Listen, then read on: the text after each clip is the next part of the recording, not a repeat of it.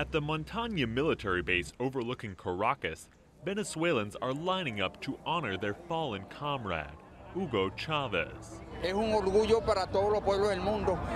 The arrival of this extraordinary man is a source of pride for everyone around the world, and today, at the Montaña military base, we have reached one year since his death, and we are all very sad because of the loss of this great man, Commander Hugo Chavez.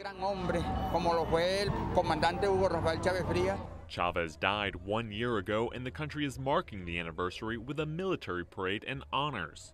Earlier in the day, Cuba's President Raul Castro arrived to participate in the ceremonies.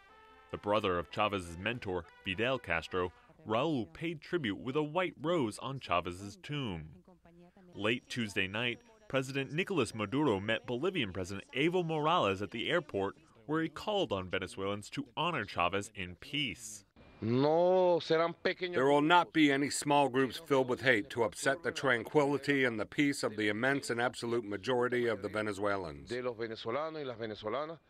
A Chavez heir, Maduro has been unable to stop weeks of ongoing protests and fix the country's many problems.